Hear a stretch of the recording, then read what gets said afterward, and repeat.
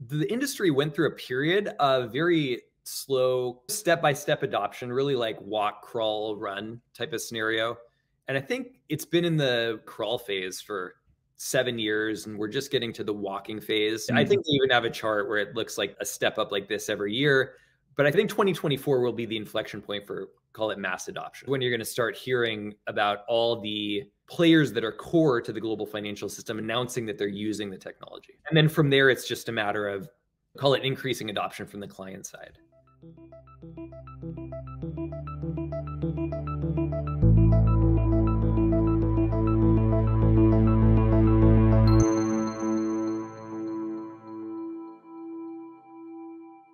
Welcome to another episode of the Untangling Web3 podcast. Today, we're delighted to be joined on the show by Colin Butler. Colin operates at the intersection of financial markets and Web3 in his role as Global Head of Institutional Capital at Polygon Labs. He brings with him a wealth of experience from both domains, with an impressive 18 year career in financial markets before moving into the tech world. Today, we'll be talking with Colin about how institutions can adopt and are adopting digital assets and Web3 globally. Colin, it's a pleasure to welcome you to the show. Thank you very much, Jack. It is a pleasure to be here. Hey, Colin, how are you doing today? Doing well, Alec. Thank you. So, Jack's already given a bit of an intro to you, but an 18 year career in financial markets. Could you tell us a little bit about that before you know we go into the wonderful world of Polygon and what led you there? Uh, yeah, happy to. So, I, at the risk of dating myself, I started on Wall Street in 2002. I was very fortunate to learn from a mentor who was a very senior person on Wall Street. He was pretty well connected with some of the true legends that sort of created the industry and the junk bond market and things like that. So I think I, I, gleaned a lot of experience and insights that I think are pretty rare today. I think there's a whole generation of people that don't really have a lot of the training that used to go through in old school Wall Street. Mm-hmm. I think it's very valuable in terms of call it like getting deals done or execution or mm-hmm. kind of creating your own reality. Because in order to do really big, amazing headline things that change the world, you really have to have this attitude that you just won't take no for an answer and you won't stop at mm-hmm. anything to get it done and then when you do everybody's kind of like oh my god can't believe that happened and and because you know what the guys did before you're like actually it's natural now after mm-hmm. sitting on the trade desk for x amount of years um, so, so I think the training was very helpful. Most of it was on the sell side, which I think a lot of people will identify with. It was an investment bank, and mm. I sat on an institutional equity trading desk. And then for the latter part of my career, I was actually on the buy side at a hedge fund, raising capital. And then I spent the last couple years as head of institutional capital at Polygon. Ah, so what was the transition there from working in Wall Street? I'm just imagining, you know, the Wolf of Wall Street. That's the lifestyle that I think everyone pictures when they think of Wall Street before the 2008 crisis. But what led you to Polygon? What was the kind of the trajectory there? It's a weird one. So I, had a friend, and, and I guess thinking back in 2017, crypto and blockchain started becoming big and there, it was mm-hmm. generating mm-hmm. a lot of noise. And I started getting phone calls from crypto hedge funds that said, yeah, we'll come over, raise capital for us. It's this new thing. And I was really listening to call it Jamie Dimon at the time, or Nouriel Roubini, Dr. Doom, and mm. people that I had a lot of respect for were in the camp that this stuff is like worse than the pet rock, you know, like internet mm-hmm. magic money going to zero. And without taking a deep dive into it, I believe them. And so I passed over those opportunities and I pretty much had a very negative impression of it, just coming from like what I was doing at the time and not really knowing much about it. I just said that's not for me.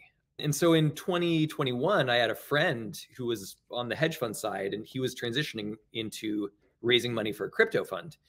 And I said, man, good luck with your career, right? Wish you all the best. You're going to torpedo yeah. yourself, just to be clear. Um, but I said, tell me your thesis. And he said, well, you know, the top performing hedge fund last year in crypto is up 12,000%. Mm-hmm. And I mm. was thinking, like, you must have missed a couple zeros there. Cause back when I was in the game, we were trying to get 20 or 30%. You were, a, you were a hero. And I just said, What are you talking about? And he said, No, this is what people bought. Here's how the returns were created.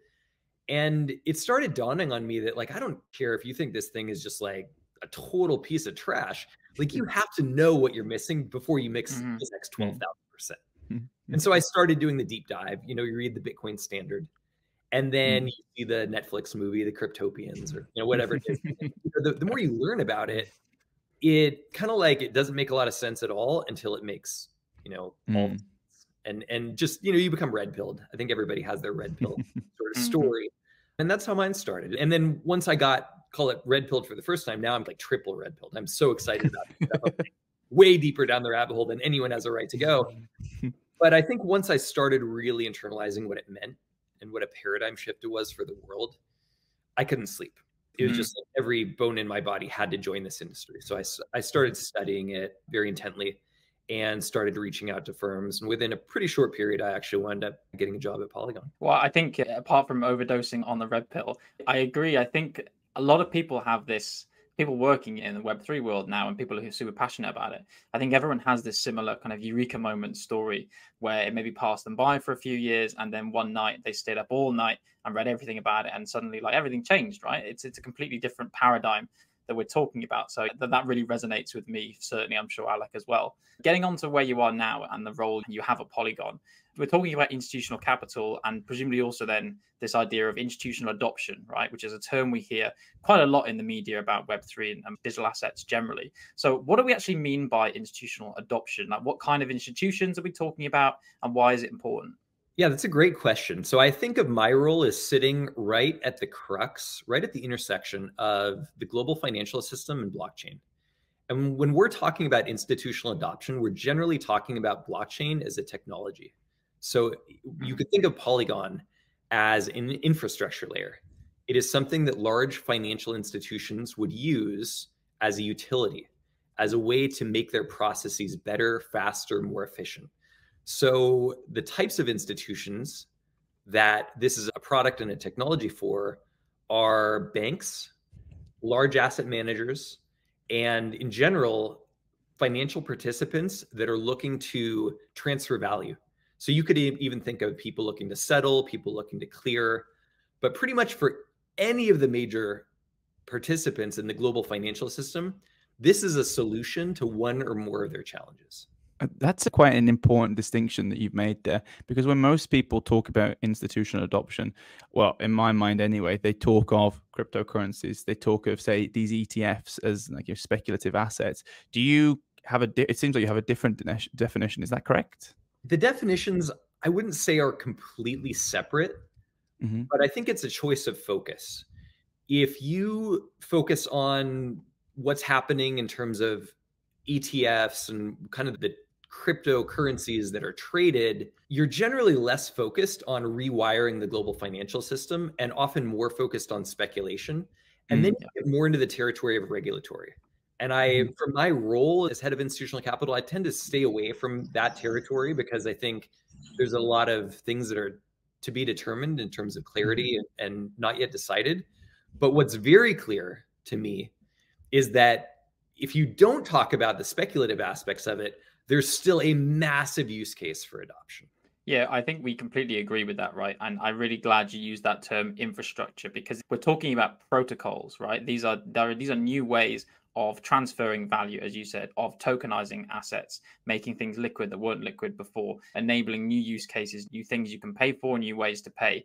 You know, I think it was Paul Buchheit, I think, the the creator of Gmail, and he said Bitcoin is like the TCP/IP of money, which I think is a really great way to to frame it as infrastructure and is really interesting.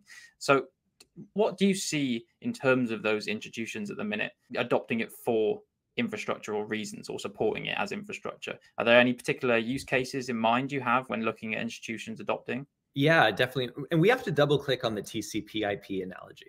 I, it's fascinating. And I think it's a very accurate analogy. I was going to say first, there are specific use cases for why people would want call it the web3 version of tcp/ip a lot of those have to do with more efficient clearing and settlement and therefore cheaper costs and i should also add administrative costs in there so mm-hmm. it's this big idea that especially when you're thinking of private assets or call it pieces of alternative asset managers like shares of funds this technology has the ability to wildly change that landscape. And so, specifically, what it would look like is if you think of a high level model and you look at where all the assets are held in the world, about 50% of those assets are held by individuals, and it represents about $150 trillion. We might have to check my math afterward, by the way. Um, but it's a gigantic amount. And so, there's an idea out there that because private assets and hedge funds are largely inaccessible to the vast majority of that 150 trillion, for various reasons. And this technology can lower costs on the back end and thereby take a minimum investment size of say 10 million or 5 million down to 20,000 or $10,000 and therefore expand distribution to a much greater percentage of the population, you can now get a situation where you go into your high net worth broker at call it a JP Morgan Chase or an HSBC or your private client banker. And in the future, not too distant future, he will say, Jack or Alec, you actually have essentially a 0% exposure to these higher performing assets, higher performing than the stock market, and you can de risk your portfolio and diversify. I'd recommend a 20% allocation. Mm-hmm. And again, these were products that generally people under $30 million net worth didn't have access to because mm-hmm. the core challenge is the 10-10C. It's 10 year lockup, it's $10 million minimum, and it's a function of capital calls. And mm-hmm. fractionalizing shares of these funds and tokenizing changes that dynamic in such a way that these products will essentially be accessible to, say, people with a million dollar net worth. Mm-hmm. And what that does, in terms of if you think about the total addressable market, is it creates a situation where of the 150 trillion, if everyone has a 20% allocation into these new vehicles and new entities, then you're talking $30 trillion in mm-hmm. new market that currently doesn't exist, but likely will exist only using blockchain. And so okay. I guess the core of it is it opens up for one a 400 billion dollar revenue opportunity for just the alternative investment asset industry, yeah. investment management industry. And if you think about it from just layman's terms, that's a massive financial incentive for the traditional financial system to come on chain. And I think that's also why, like, why now? It's because you now actually have the infrastructure that can create that. And now you've got the financial incentive. And so that's why I believe that there's going to be a rapid transition. And then we can get in. I wanted to set that framework first hmm. before we go into that's almost like why TCP IP is needed. Yeah that that makes a lot of sense and we are definitely going to like you said double click on the tcp ip so a question that i was asked recently because i made a similar point to that maybe not quite as well explained as you just did but there was the question was i said you know it's going to open up this whole new world of tokenizing assets and fractionalizing assets and that's going to improve accessibility around the world. And the question they posed to me was why do i need blockchain for that? Why couldn't a jp morgan of the world just do that on their own systems? How would you respond to a question like that I think there's a lot of ways that you could respond, but one of them that's core to my understanding is it's a function of taking multiple ledgers and mm-hmm. drawing it into essentially one. So I, I, spoke with somebody very well placed at one of the core kind of backbone infrastructure providers for a lot of Wall Street, a lot of private equity. And they said we have 23 different ledgers. And if you think about like the manual work that goes into transferring fund X to mm. ledger Y and Z, it mm. just sounds crazy in the current modern world when you can essentially distill it down to one. Yeah. And I think if you think about it that way, it's very easy to understand the cost savings involved and the time savings in terms of settlement and the efficiencies that are unlocked. And I think that's the core of the value proposition for blockchain is it takes uh, between depending on who you ask and what the use case is, it can take 50 to 90% of the costs of settling, transacting, moving things around on the back end or on the operational side of things. Mm-hmm. And when you take it down to that degree, then you can pass that cost along to customers. And that's where you really get the coming from the $5 million minimum to call it the $10,000 minimum.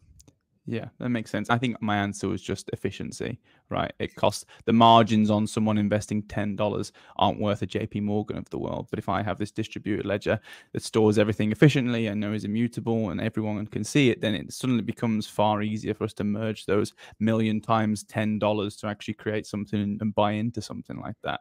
And one other thing that you mentioned there was, you know, use cases. I'd be really interested to know what do you think are some of the most compelling use cases that institutions are looking at right now? Is it like token tokenization? I'm not going to lead your answers. actually I'll stop there. Uh, for me, it is. I, you know, I think some people would think that part of the field is a little bit boring, but for me, mm. that's that's where the that's where the juice is. Like I came to disrupt industries, and this technology makes things an order of magnitude better in a lot of ways, more efficient, more effective, lower cost.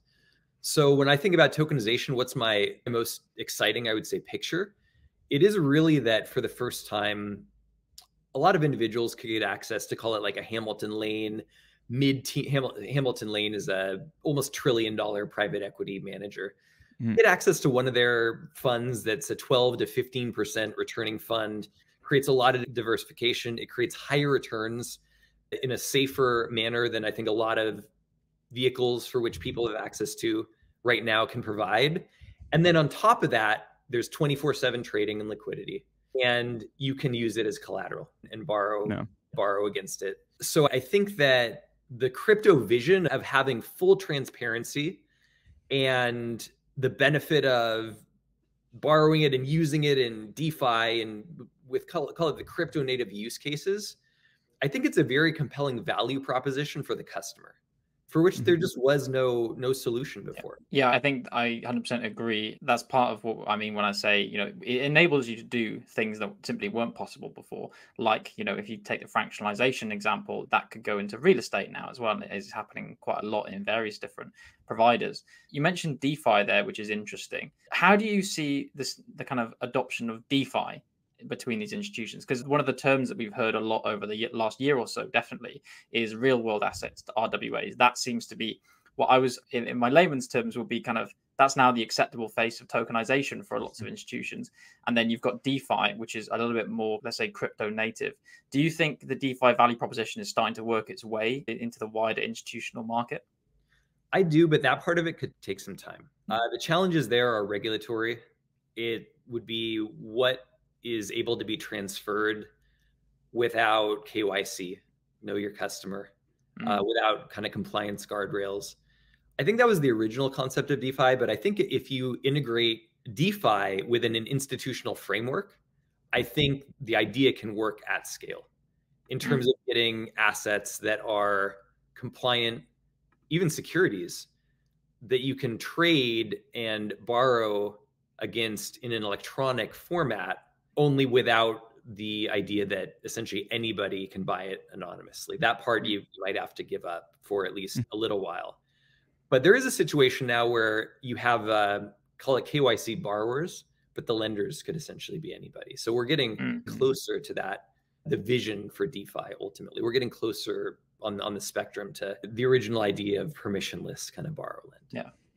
Yeah, and I think I've, I've also seen the term uh, C DeFi, like centralized DeFi, the kind of blending of the two, like the Web 2.5 of the DeFi world. And I agree. I think we're starting to see elements of the technology and the principles or how the DeFi systems have been created starting to make their way into how the larger companies and financial institutions are approaching their offerings and their products in the space. I think on the RWAs piece, then do you think that is a do you think that's a useful term to be honest as well? Because i'd be interested to know do you think we need that term? Do you think we need this new way of describing similar things? Because in my mind it covers a lot of the benefits that you were describing but what are your thoughts on that kind of whole movement? Uh, to be honest i absolutely hate the term. I hate the term rwa as real world assets. Yeah. i personally think it's misleading. I hope somebody mm-hmm. can come up with something better at some point. I guess it broadly does encompass anything from call it art to real estate to fractional netflix accounts but I think a lot of the use cases that people are even excited about or see as potential use cases are much further chronologically speaking down the pipe. What's able to be tokenized now is things that are largely digital already. And that is a mm. lot of finance. It is stocks, bonds, mm. funds, derivatives, swaps, repos. A lot of the traditional financial instruments that make up the vast majority of even think of like DTCC is 2.4 quadrillion dollars in settlements every year I think a lot of those instruments are ripe for tokenization right now. And I think as you get into the broader landscape of what they call real world assets, it becomes a lot harder once you kind of see beyond that. Mm.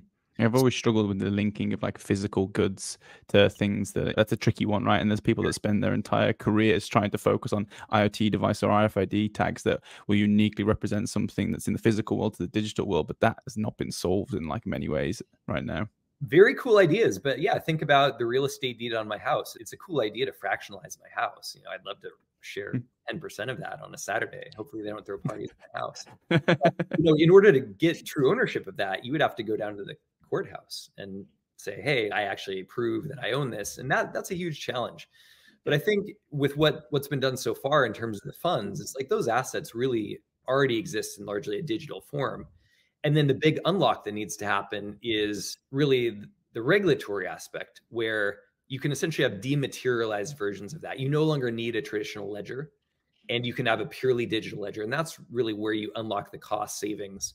But to me, I almost don't even think of those as real world assets, like as a stock mm. or real world asset or mm. I would say more like fin- I would almost separate financial instruments from the rest of the RWA picture.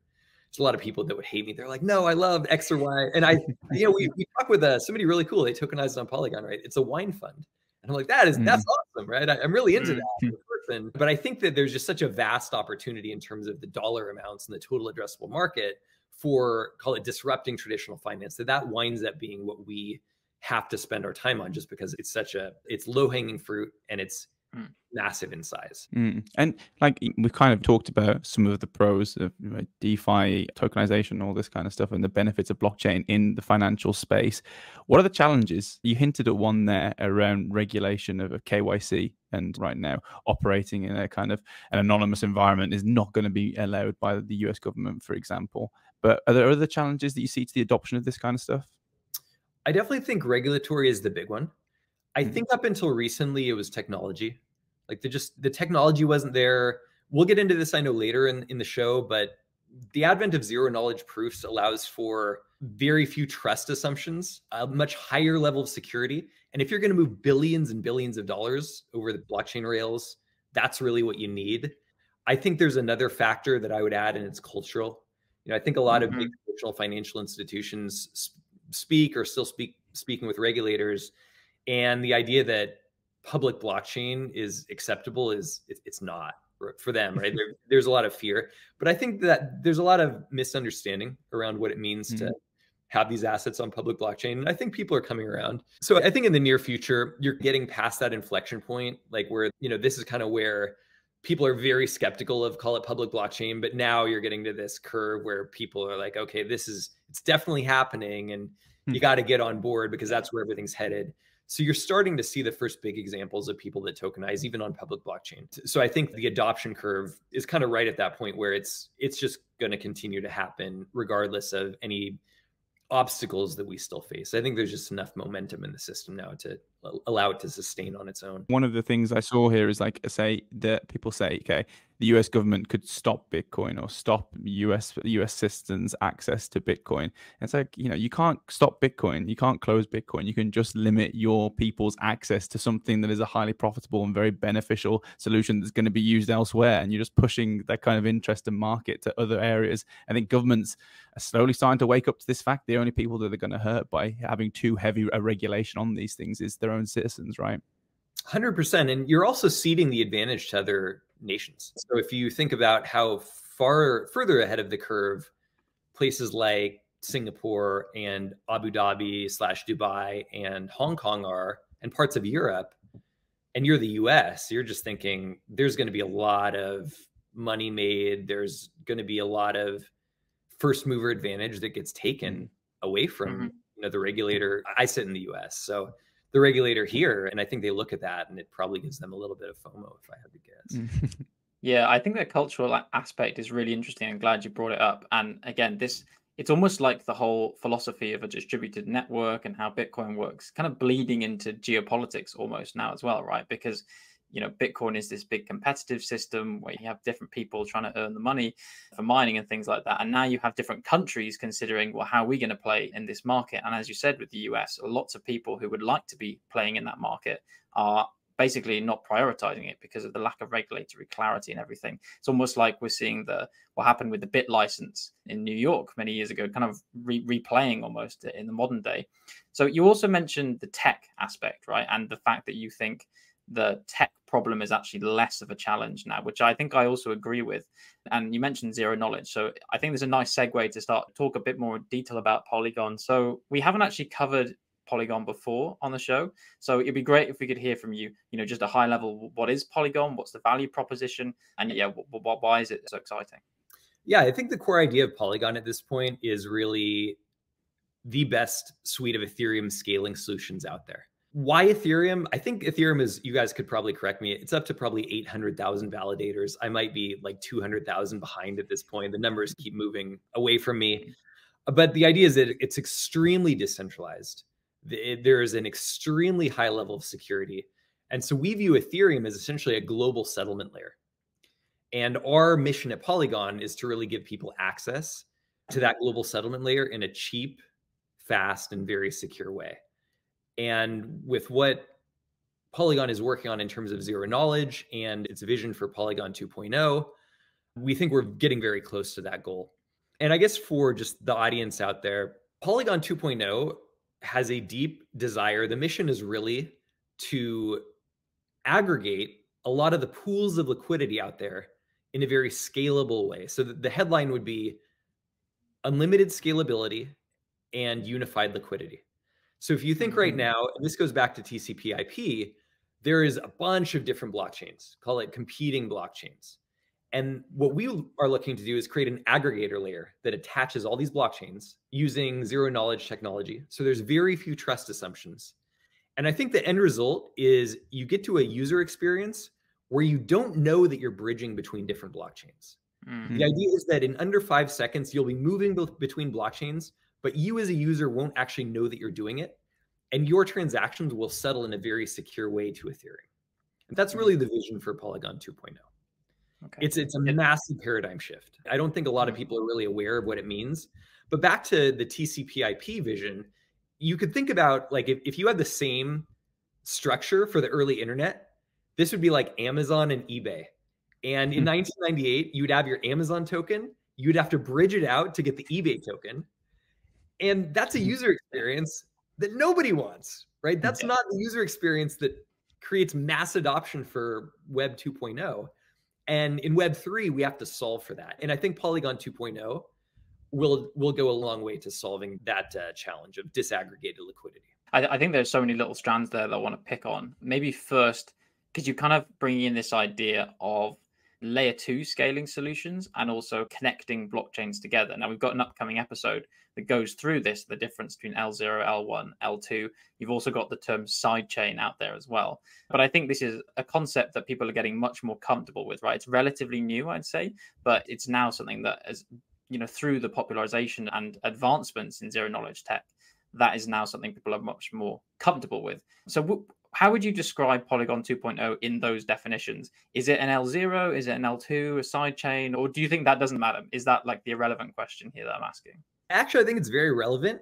I don't think anybody's really come up with a firm definitive answer. Uh, so, layer two at its core would have the ability to roll a bunch of different transactions and submit them all to the layer one in one proof, and thereby saving a lot of costs. So, if you think of the idea that Ethereum costs can be very high at times, gas fees can be very high. If you can lump a thousand transactions and submit just one down to the Ethereum layer one, it's essentially like whatever you were paying before divided by X amount of transactions, and you get just a wildly lower cost with call it a layer two solution. But the reality of this new vision is that you can also connect layer ones with the technology right? So there's a future vision where there's a bunch of very visible blockchains out there. There's call it Avalanche and Ripple and even private chains, right? Like Hyperledger. And if you can connect those using the technology that is pretty cutting edge, it's still being developed, but I think very close to rolling out at scale for those specific applications. Then all of a sudden, you're not really talking, you're definitely still talking about layer twos because our vision is that we do want to settle to Ethereum. So that solution, they call it the aggregator layer, where you aggregate all mm-hmm. the liquidity and it settles to Ethereum. That will, I think, always be a layer two. But if you have layer ones porting into that unified liquidity system, what do you call that? You just call it aggregated liquidity, right? Or uh, you know, somebody has to make up a new cool, I think, buzzword to distill it for everybody and make it more simple, get away from the jargon. I mean, it makes sense, especially when you're defining these things in the context of protocols that are underlying everything, right? And I think one of the things that everyone kind of says is there'll be one blockchain in the end, and everything will be built on top of that blockchain but we're kind of not seeing that right now. We're seeing a couple of like front runners, but there's so much stickiness involved in companies developing on blockchains that there's a real reluctance in a lot of ways to port. You know, if I spend 10 years building on Ethereum and all of a sudden someone's like, well, let's move to, I don't know, Cardano or something like this, there's a lot of reluctance there because of the sunken cost fallacy. And I think there's more and more potential for people like Polygon and companies like Polygon that are developing these interoperability, portability bridges between all these different ecosystems. Like one of the examples I like to give of is like the metaverse, right? That's a taboo word right now. But we don't want a thousand different worlds all building in isolation. The beauty of a distributed ledger technology really should be that everything can be working together and transparently kind of working between different worlds. And I see a lot of value to this. Like I see, I think I really like Polygon's mission is, is to unify a lot of these kind of fractionalized ecosystems and bring them together and do that at a high speed and a low cost, hopefully. Well, if you remember, there's also competing versions of TCP/IP, mm-hmm. and I think as people, and maybe even it wasn't even the best, if I recall correctly, necessarily. But I think as you create a liquidity pool that becomes larger and larger, eventually everybody has to coalesce around that. Otherwise, you have mm-hmm. essentially like a useless scenario where you just have a tiny island of liquidity out here. Yeah. And I think uh, TCP/IP was a very classic example of that. Like once it got past a certain volume, it's kind of like Facebook. Like once all of your friends are on Facebook, there's no incentive for you to go to another network. Once once there's a depth of market where all the buyers are, as a seller, you have to go because that's where you that's where you get best price. So I think that as I believe the different islands of liquidity coalesce, you get a massive flywheel. You get a, an explosion mm-hmm. of network effect of liquidity. And I think that's really what we're on a mission to create. And it's not exclusive, it's not at the expense of other blockchain ideas and the technical debt that people have created. It's like, no, we think based on this technology, you can keep everything you've done. And we're just going to combine it because if you're over here, say you're Polygon proof of stake, and we just combined a large source of liquidity, both sources just benefited in a mm-hmm way. And that's, I think, the key to the vision for us.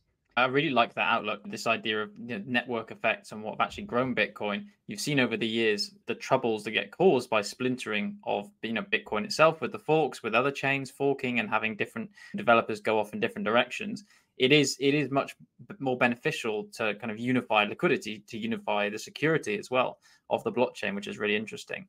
So we've mentioned zero knowledge a couple of times and again this is not something that we've done a deep dive on on the show yet but we will be very soon. So when i first heard of this technology only four or five years ago personally i was a little bit late to the party maybe but it was you know still relatively new. Even though lots of the primitives have been around for a long time the advancements in the space of zk tech right now are just you know you can't keep up with them right? There's so much happening so, uh, why do you think zero knowledge has been the kind of key to unlocking all this layer two and the scaling solutions for Ethereum? Because if you look at something like Bitcoin, they went on a different direction and they thought, okay, Lightning Network, this is how we're going to do L2 scaling.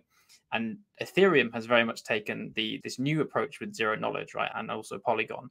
So, yeah, what is the difference in the distinction with going the zero knowledge route, and why do you think it's so powerful compared to maybe other scaling solutions? Zero knowledge is extremely important for unifying liquidity with minimal trust assumptions. I think what's been proven over the last couple of years is almost all bridges can be hacked.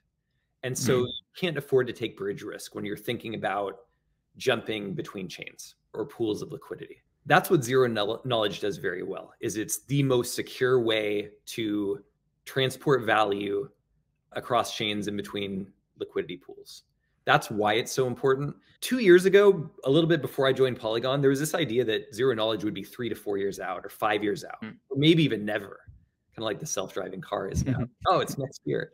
Um, but Polygon actually, I think, did a great job of discovering or this idea early and really focusing on it.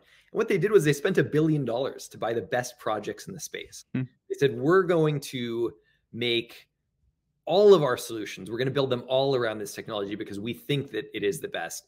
And right now, it actually looks to be the holy grail.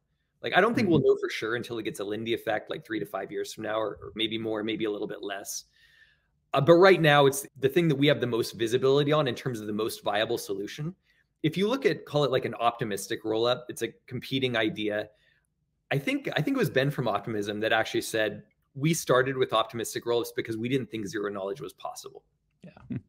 And the challenge, of course, with optimistic rollups is it's like this seven day kind of settlement window.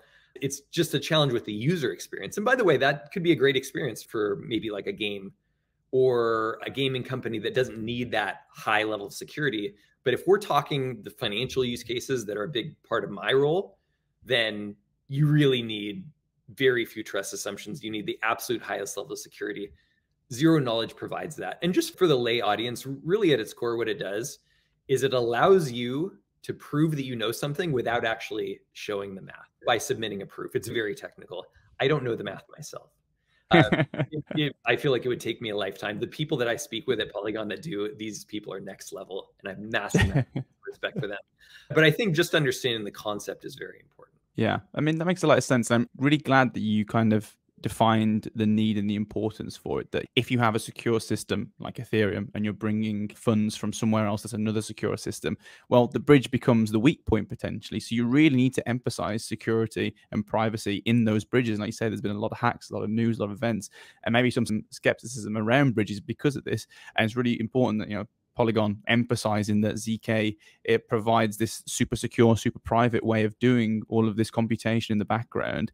How have institutions responded to that? Because, like you say, it's a bit of a, a black box in a way, right? It's kind of like AI. You say it does these things. How does it do it? I don't know. There's some guy in the back who can answer that. But how have institutions responded? Yeah, it's similar to the internet. You know, we all use it. Uh, I remember my parents thinking, for the first, again, dating myself they said we can't put our credit card on the internet. Like that's the craziest idea right? And now all of us essentially take it for granted. And i think it's very similar to blockchain. The institutions need to know the outcome and they just need to have trust in the people that are telling them what it can do and providing the solution. And very very much like any technical solution the business leaders that would love to incorporate this into their call it into their process definitely don't know the tech. I mean, especially in hmm. Web3, the tech is so complicated, but they really need to trust the engineers that are working on the tech. And I think that's the point that we're at. These people at call it large global banks or asset managers have people in house that know it really well and speak for it. And then, mm-hmm. of course, you also need a trusted third party if you're you know conveying or purveying a software solution like this you also need that trust both internally and externally so an example of that would be polygon right we have a whole team devoted to institutions to help educate people mm-hmm. uh, in order to convey that trust over time okay that makes a lot of sense what thing that i'd like to ask is around is it ever going to happen? I don't know. But Ethereum 2.0, how does that affect Polygon right now? Is it in the mindset? Is it affecting the angle, the vision for Polygon? Who knows when it's actually going to happen? But I'm sure it's something that's talked about at Polygon. It's a little bit too far out in the future. In crypto, you think in terms of weeks, if not days. Even a year is a, it's like a lifetime away. We don't. I don't think we think about it a lot. I think we're really focused on this whole idea of just unifying global liquidity and that is mm-hmm. that's the most important interim step for us because the focus is the call it getting to that next billion users like how do we onboard the next billion users how do we make it a user experience that people want a, a customer journey that people want to go through and so i think one of the major steps is global unified liquidity it is again really creating that like tcp/ip that no matter what part of the blockchain ecosystem globally you're in you can now mm. connect mm. that kind of foundational layer yeah think i'm sure people within polygon have thought beyond that but it's completely tbd like we don't know the timing we don't mm-hmm. know the feasibility but in the meantime we've identified a target that i think can really help change the world for everybody that's involved in using this technology yeah, I think that's really important. Like when I initially heard about Polygon and I heard about Ethereum 2.0, I was like, well, you know, Ethereum 2.0, the whole point is to speed things up, more transactions. Like, why do you need a layer two? But having understanding this angle now that it's far, it's much more than that, right? Like, you say, this aggregate layer that can connect lots of different disparate EVMs and also other layer ones and other blockchains together. I think that makes a lot more sense. And I see that that's a much bigger picture than just speeding up Ethereum. Yeah, but also you're going to need wild amounts of, of TPS, you know, mm. throughput and speed if you really want to make this technology as usable for as many people as currently are on the internet. So Ethereum yeah. 2.0, again, you're getting like Visa and MasterCard and DTCC and all the banks on the same network. You're going to need a lot of scalability there. So I, yeah. I, I I'm generally like the more scalability you can get, we're going to need, we're going to need every bit that you can create. Yeah, and Ethereum's roadmap it assumes all of this scalability that happens on like layer twos and side chains. I think they know this, right? There's, they're not going to be able to hit the bandwidth that is going to come from, like you say, 400 million transactions a second from Visa. I think is the equivalent. Like, they're never going to hit that on their own. Yeah, I think Vitalik has had that idea in his mind for a long time that this would be part of their solution for scaling. Yeah, and I think that's an interesting kind of distinction as well, right? Just saying it's part of the solution because I think some people maybe jumping kind of too far ahead and thinking we're just going to use layer two, but actually there is still a lot of work happening on layer one again with ETH2. And I think the end state will obviously be this combination of the best scaled underlying blockchain at layer one and then the best kind of probably ZK solutions on top that offer all the security benefits, but also the scale to do it. And it's not a case of one or the other. I think some people pit them one against each other far too often when they're talking about them.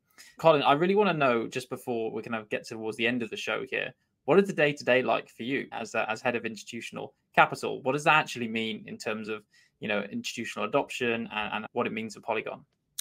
It's a lot of education. So I speak with many of the top 20 to 50 global institutions out there. Some of these folks are very sophisticated.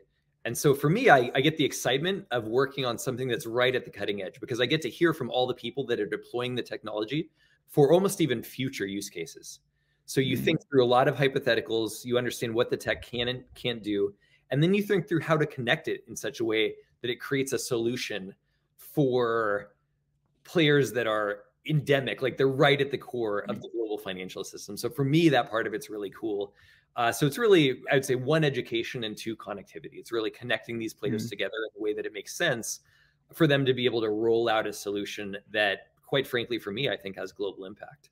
I think um, that's really important. We've seen so much of the detriment and the failure of the blockchain space and the Web3 space has been a lack of desire to solve real world problems. Like it's just been pure focus on the technology, like how are we actually engaging with industries to work out does this actually solve a problem that they have right now? So, this kind of work is incredibly important. One question I would like to ask Art is what are some of the biggest misconceptions that you're seeing from engaging with these sometimes not tech savvy, sometimes not blockchain savvy individuals and trying to help them understand the space? Off the top of my head, I think the biggest mi- misconception is lack of transparency. The, the idea that criminals can use this technology to get away with, you know, money laundering and things like that. It still happens, probably mm. less than the traditional financial system, if I had to guess. I mean, what people don't realize is it's actually it's all about transparency. It's very easy to track if you're a malignant actor.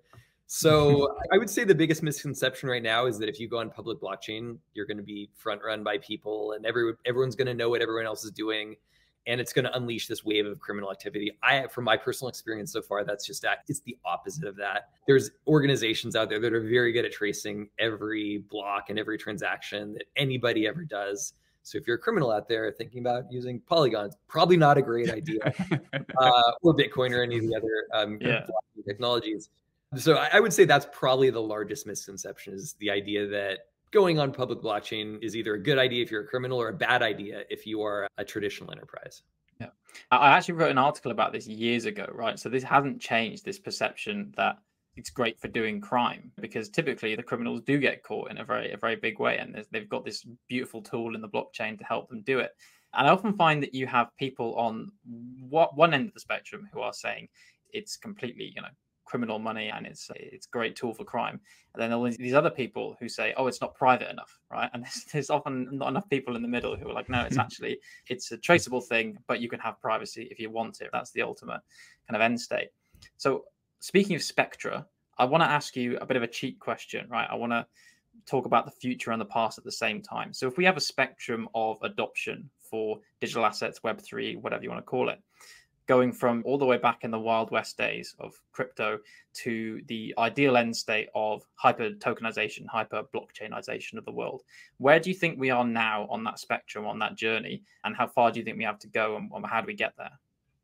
So when you asked the question, my mind immediately was thinking like X-Men Days of Future Past. I'm like, how do I time travel?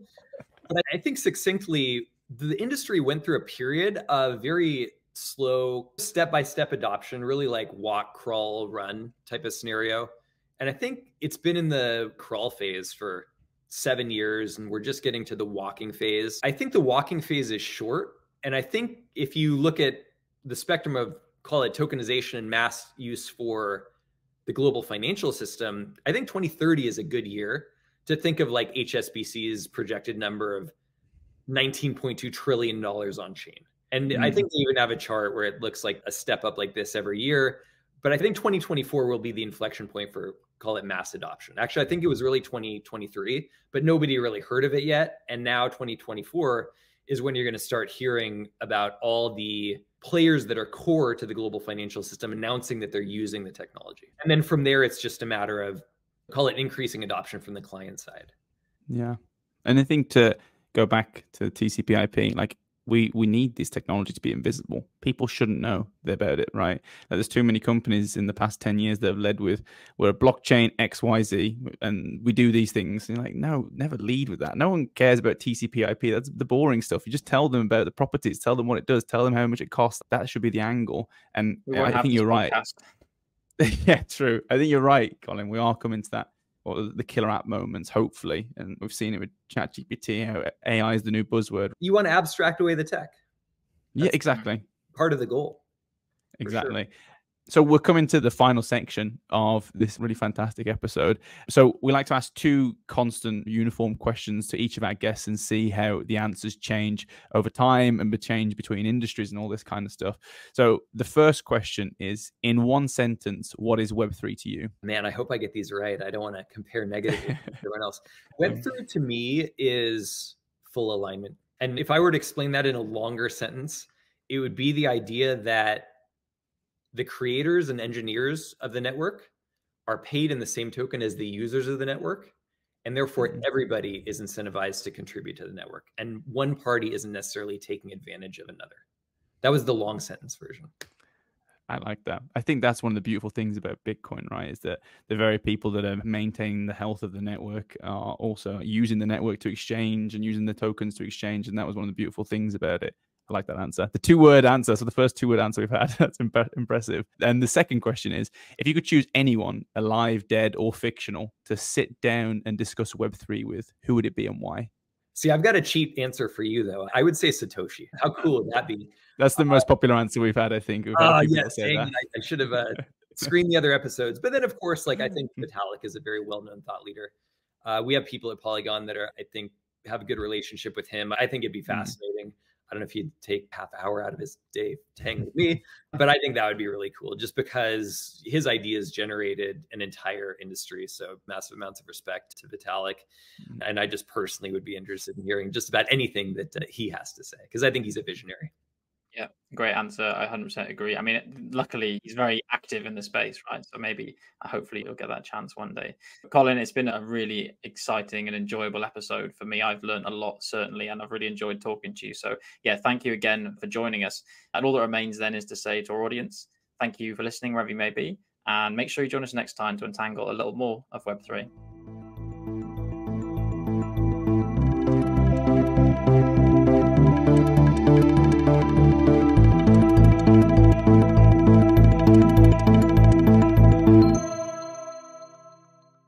Thanks for tuning in to another episode of Untangling Web3, produced by Emma Camilleri. Don't forget to send us your thoughts, questions, and comments on social media, and be sure to follow us on your favorite podcast provider to catch the next episode. See you next time to untangle a little bit more of Web3.